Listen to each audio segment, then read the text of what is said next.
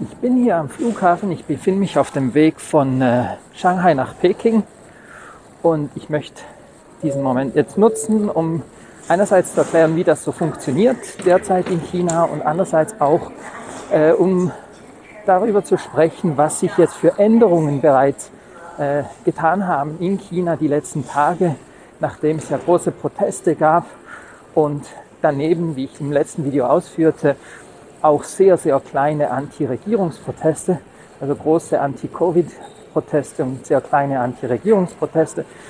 Da habe ich seither noch ein paar mehr Bilder gefunden, die werde ich auch teilen und erklären, wie ich die interpretiere. Ähm, und zusätzlich, wie gesagt, äh, das Fliegen in China. Wie ihr seht, ich trage hier eine Maske, das ist in ähm, Flughäfen, Eisenbahn, U-Bahn, im öffentlichen Verkehr ist das immer noch Pflicht in China.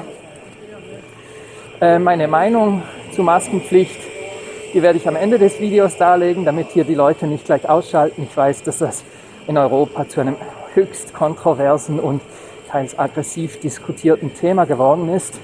Äh, Darum spreche ich zuerst mal über alles andere. Ja, ähm, das Erste, was man braucht, um überhaupt in den Flughafen reinzukommen, ist ein Covid-Test.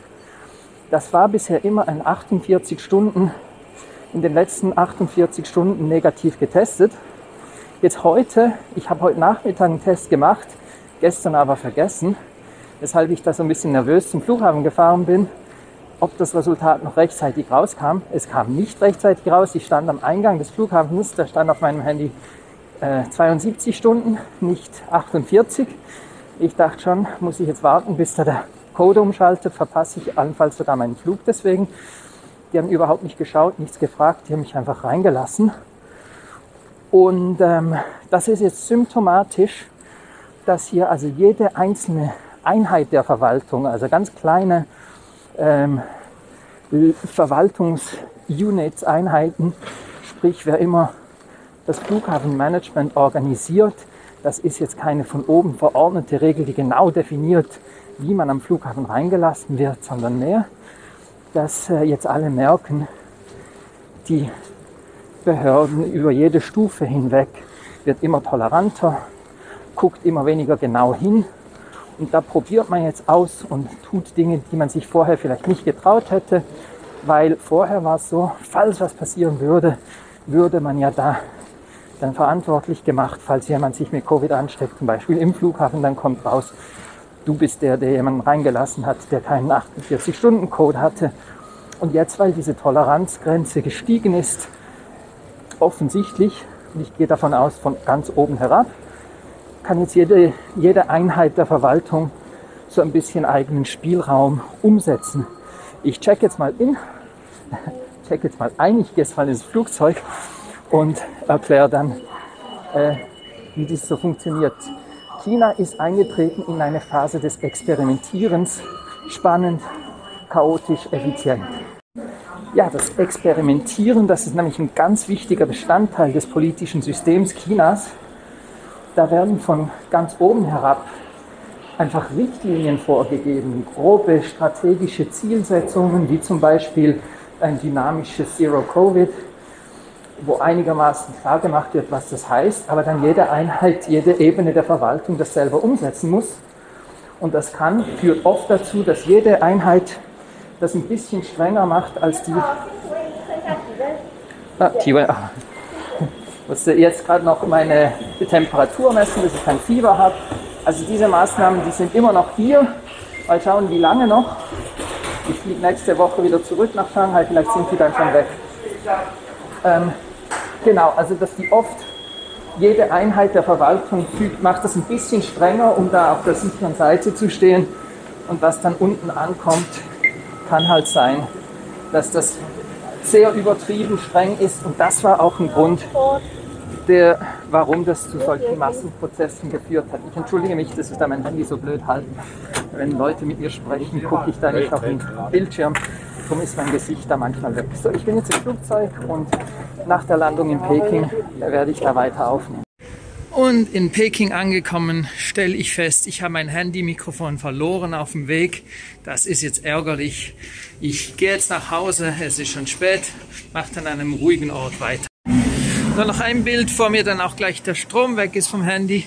Bei Ankunft in Peking kann man, muss man nicht gleich äh, einen Covid-Test machen.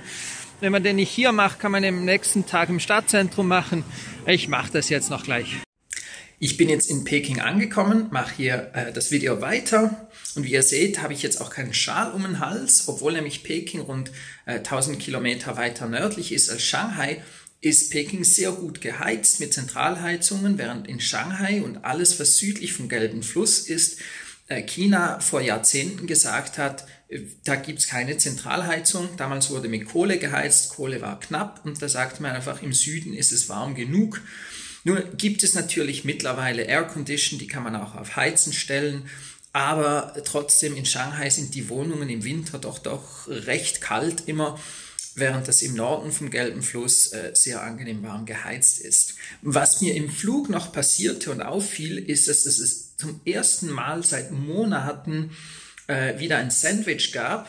Äh, das war äh, die letzten Monate immer nur eine Flasche Wasser und ein paar Erdnüsse. Und das hat wohl auch mit den Covid-Restriktionen zu tun wo sich irgendjemand gesagt hat, äh, ein Sandwich, das muss jemand von Hand einpacken, das wird dann gekühlt. In China wurde mal gesagt, Kühllieferketten können das Virus lange Zeit am Leben erhalten und sind daher eine Gefahr. Und bei den Erdnüssen, da ist halt diese Gefahr nicht, selbst obwohl man beim Essen natürlich auch da die Maske runternehmen muss.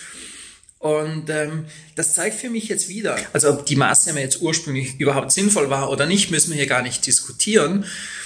Dass aber äh, so eine Maßnahme jetzt abgeschafft wurde, das ist ganz sicher nicht irgendwo äh, in der Zentralregierung Chinas bestimmt worden, dass nebst der Aufhebung von gewissen Lockdown-Restriktionen jetzt auch die Airlines äh, wieder Sandwiches servieren müssen. Das ist ein typischer Fall, wo jemand einfach sagt, ja, um ganz, ganz sicher sein, zu sein, dass nicht ich der Verantwortliche bin, der dann irgendwo zu einem Ausbruch geführt hat, da mache ich jetzt auch die Sandwiches weg und jetzt offenbar da ein neuer Wind irgendwo die Stimmung gekippt ist und die Leute sagen, jetzt machen wir das so schnell wie möglich alles auf und machen das äh, besser für die Leute. Obwohl das ganz sicher jetzt nicht von äh, irgendeiner zentralen Regierungsstelle verordnet wurde. Und da äh, möchte ich auch noch im ganz Generellen auf ein Ding hinweisen, nämlich diese, diese Annahme, dass alles, was irgendwie schlecht und, und wirklich auch bösartig und, und erschreckend äh, stattfindet in diesem Riesenland China, gibt es Leute, die das dann alles sofort immer auf die kommunistische Partei oder gar auf Xi Jinping persönlich schieben.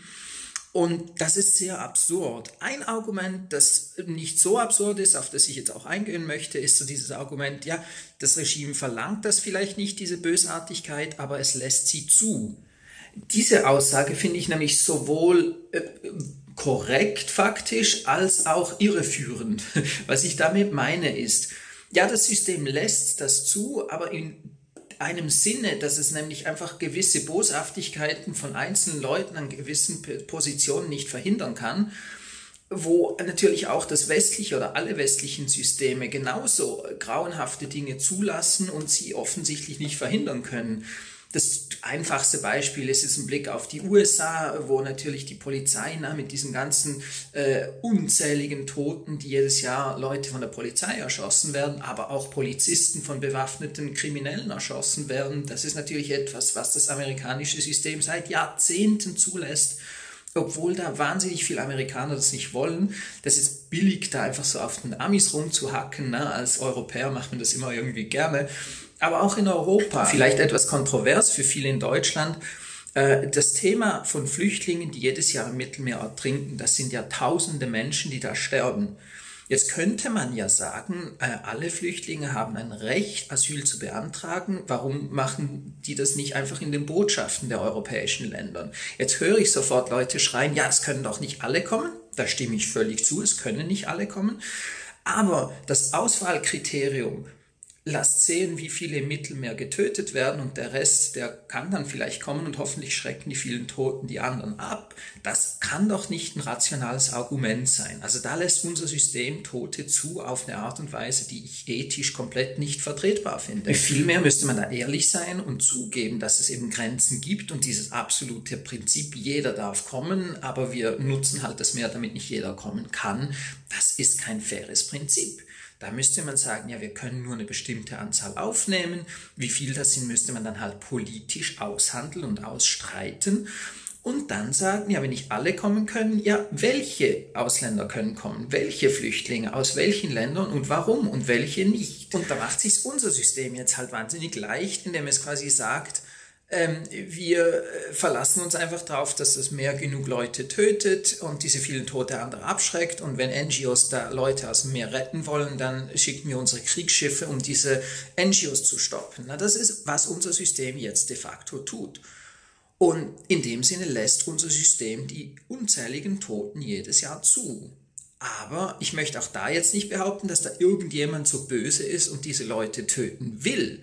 Und das ist genau das, was ich eigentlich sagen wollte. Ne? Also genau, in China passieren schreckliche Dinge. Das System, so wie es jetzt ist, kann das nicht immer verhindern. Aber das heißt nicht, dass ein Xi Jinping will, dass äh, irgendwelche Lokalbeamte Leute verprügeln, weil sie sich nicht ähm, äh, ohne Widerstand an diese lokal gemachten Verordnungen halten, die keine Gesetzesbasis haben. Das will Xi Jinping bestimmt nicht. Das will auch die kommunistische Partei so nicht. Und da möchte ich jetzt so ein bisschen zeigen, was in letzter Zeit in chinesischen Sozialmedien so auftaucht. Ich habe ein bisschen rumgescrollt und also jedes dritte Video ging in diese Richtung. Im ersten Video, da haben äh, also so örtliche Beamte einen Vater brutal geschlagen und ihn aufs Sofa gedrückt. Da kam seine kleine Tochter hinzu, also Herz zerreißen, wollte den Vater beschützen und die Beamten reißen dann die Tochter auch noch weg. Grauenhaftes Video und die wurden jetzt aus der kommunistischen Partei geschmissen. Da wurde gesagt, so ein Verhalten ist absolut unerträglich. Und das ist richtig so. Auch der zweite Fall, da wurden auch wieder Leute geschlagen und da haben die, die Verwaltungsbehörden, die das nicht angeordnet haben, aber die quasi für die Region zuständig sind, sich offiziell entschuldigt und gesagt, die, die das tatsächlich gemacht haben, die wurden jetzt in Umerziehung geschickt. Also so Selbstkritik heißt das. Äh, auch das ich hoffe, dass die alle bestraft werden. Also da bin ich jetzt überhaupt kein, keiner, der das irgendwie entschuldigen will, solches Verhalten. Dann noch das dritte Beispiel, das ist jetzt viel weniger dramatisch. Da wurde eine junge Frau äh, von, von äh, der Compound-Verwaltung aufgehalten. Die sagten, sie lassen sie nicht in Compound rein, vielleicht weil die äh, irgendeinen Covid-Code nicht hatte oder warum auch immer. Und die begannen es zu filmen und hat gesagt, ja, jetzt sag nochmal, sagtest du mir eben, du seist der größte Besitzer hier, ähm, ich bin Besitzerin eines Hauses und ich habe das Recht hier reinzugehen, du bist der Verwalter, du verwaltest und, und managst den Garten hier, äh, die Sanitäranlagen, Elektrizität und so weiter, du hast da kein Recht mir zu sagen, dass ich da nicht rein darf.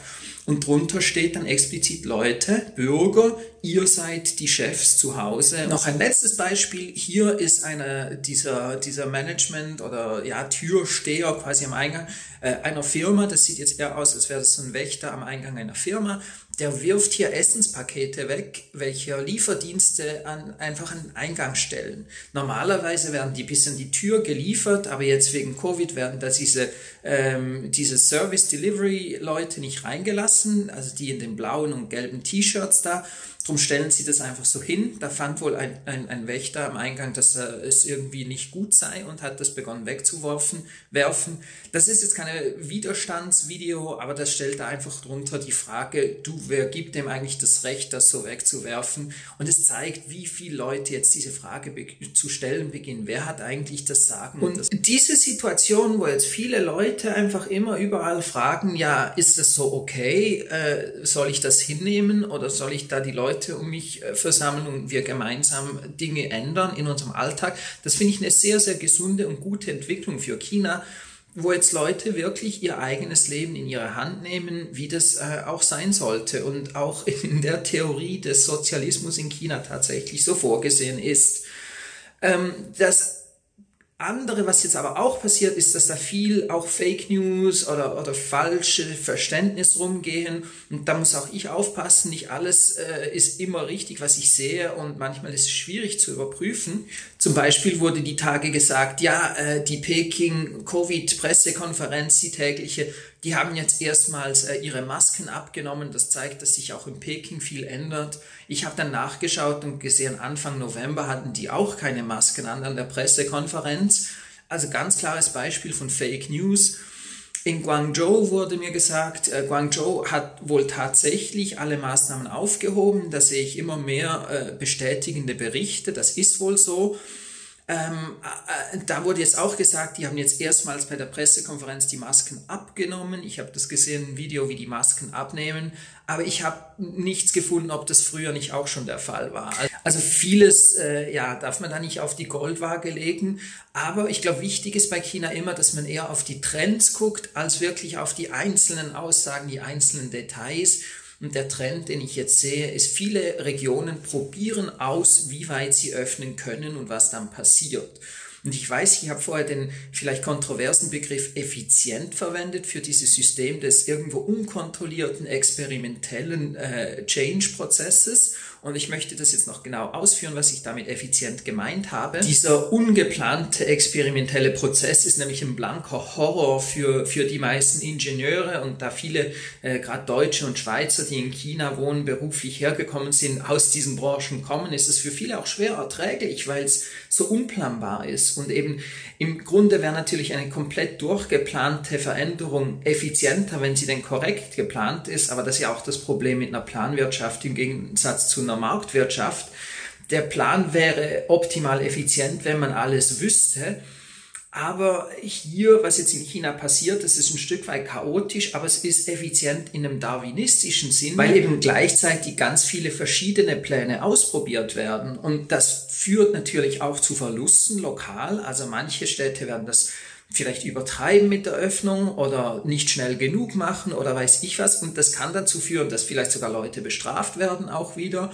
Ähm, oder auch einfach, dass Leute halt äh, stärker eingeschränkt sind oder mehr Leute sterben als nötig gewesen wären in einem optimalen Fall. Aber die Chance, dass ein Optimum möglichst schnell gefunden wird, ist höher, als wenn jetzt eine Zentralstelle in der Zentralregierung für Gesamtchina planen würde, wie die Öffnung stattfindet. Und dann müssen das alle strikt nach dem gleichen Muster machen. Wenn da ein Fehler drin ist, ja dann gute Nacht. Das ist ja ein Stück weit auch genau das gleiche Prinzip in der EU, wo die EU zu gewissen Dingen Richtlinien vorgibt, aber jedes Land kocht dann doch ein bisschen sein eigenes Süppchen. Das ist manchmal ärgerlich, weil es eben wieder diese diese Planungseffizienz reduziert, aber ich denke, evolutionär, langfristig gesehen, ist es gesünder als ein System, wo alles komplett zentralistisch geplant wird Wobei ich jetzt nicht also auf, auf eine theoretische Exkursion gehen möchte, was die EU alles für Probleme hat und, und was China alles für Probleme hat. Das ist natürlich noch ein viel größeres Thema.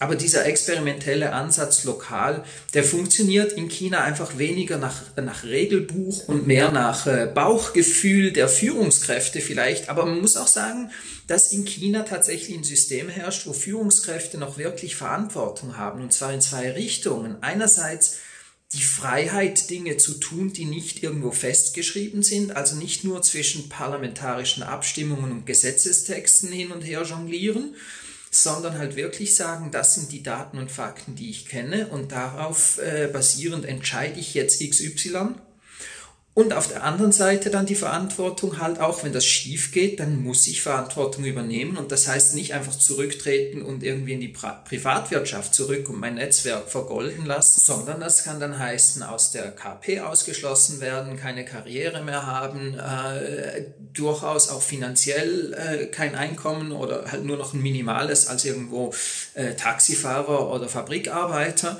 weil in China es verboten ist, für Leute, die eine politische Karriere gemacht haben, danach in die Privatwirtschaft einzusteigen und, und wieder zurück. Also dieses Hin und Her ist in China nicht erlaubt. Das Einzige, was geht, ist, wenn man ehrenhaft aus der Politik aussteigt und dann nie wieder zurückgeht, dann kann man in, in ein Privatunternehmen gehen.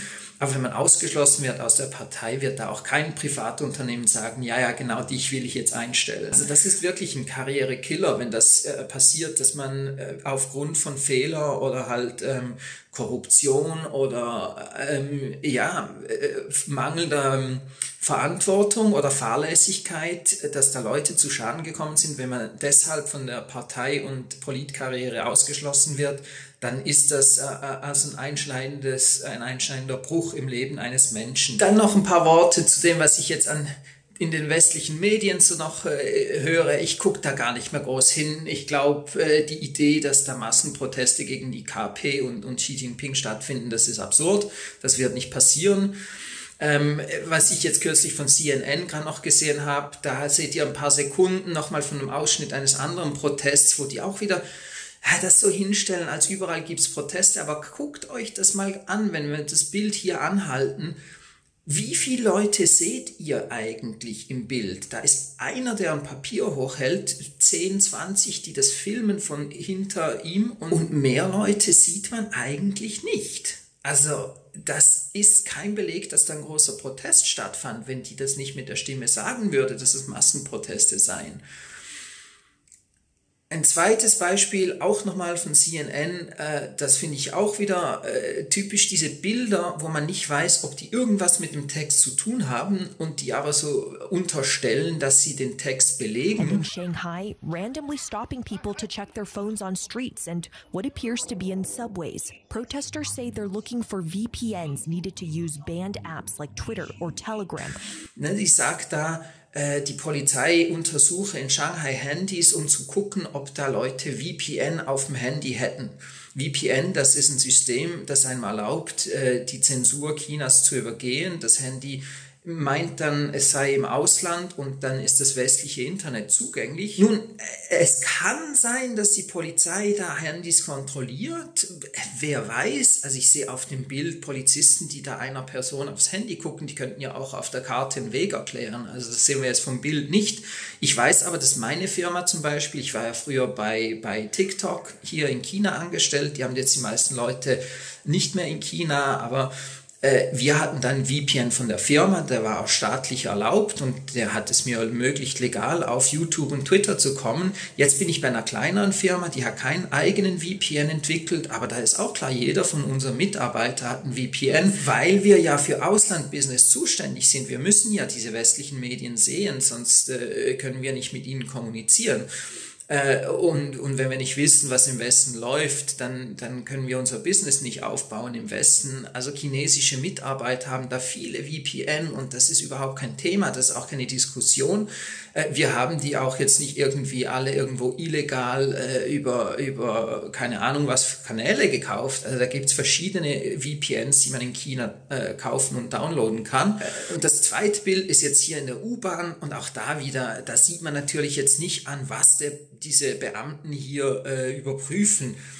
Also das sind so Unterstellungen, die wahr sein können. Aber seid vorsichtig, wenn ihr so Bilder seht und dann den Text dazu hört. Die Bilder belegen nicht, was dieser Text besagt. Ganz, ganz wichtig finde ich aber den letzten Satz in dieser Aufnahme von CNN. Da sagt sie nämlich, for VPNs needed to use banned apps like Twitter or Telegram, which some protesters use to communicate. Another protester told CNN, I'm afraid we cannot hold protests like this again in the future. There are always undercover agents in our Telegram group. dass ein Protestierender ihr gesagt hätte, sie könnten wohl keine solche Prozesse mehr durchführen, weil da immer Spione in ihren Telegram-Gruppen seien. Ich hatte im letzten Video ja schon äh, Screenshots gezeigt, wo in Telegram-Gruppen äh, Protestierende und westliche Medien, CNN, BBC, sich ganz im Detail abstimmen, wer wann wo sein wird und da also wirklich diese Vermutung naheliegt, dass die die äh, westlichen Journalisten oder die chinesischen Journalisten, die für westlichen Medien arbeiten, da in dieser Planung mit dabei sind. Und ich sagte da auch, ich kann nicht beweisen, dass diese echt sind, diese Telegram-Screenshots. Da sie nun aber sagt, äh, die Protestierenden selber glauben, dass in ihren Telegram-Gruppen Spione seien und ich weiß, dass eben aus diesen Telegram-Gruppen äh, oder aus Telegram-Gruppen möglicherweise diesen der Protestierenden so Screenshots im Internet viral gingen, da klingt das für mich jetzt doch fast schon so wie eine Bestätigung, dass diese Screenshots echt waren. Ein letztes Thema, das ich noch ganz kurz ansprechen möchte, obwohl das dann weiterführen könnte, ich mache das wirklich nur kurz, das waren die Wahlen in Taiwan. Die waren nämlich äh, vor einer guten Woche Lokalwahlen in Taiwan und das wurde, glaube ich, kaum berichtet im Westen. Da hat die Partei äh, der regierenden Tsai Ing-wen, der Präsidentin der Republik China, also die Regierung, die auf Taiwan regiert, die hat massiv verloren und die Oppositions Kuomintang die hat äh, viele, viele äh, Regionen für sich gewonnen. Und das ist deshalb brisant, weil Tsai Ing-wen ausdrücklich sagte, diese Wahl, obwohl es Lokalwahlen sind, die gehe jetzt um eine Stimmungswahl, ob pro oder gegen China, also, also pro oder gegen Vereinigung mit dem Festland China oder pro oder äh, kontra äh, Unabhängigkeit Taiwans.